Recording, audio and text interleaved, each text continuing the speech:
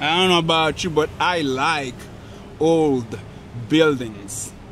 I mean, here in Haverstraw, you have all these mansions that used to be, I would say, unattainable. But now with time, they just have character, they just have some kind of charm to them. So I like to walk the streets and just enjoy the sight. There are many ways to walk the street here in Haverstraw. One way is look down, look straight up, or look up.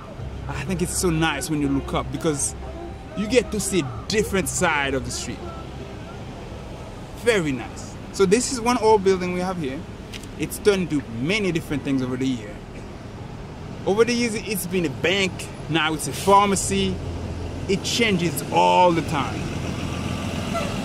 But one thing stays the same. Doesn't matter what year the picture is taken.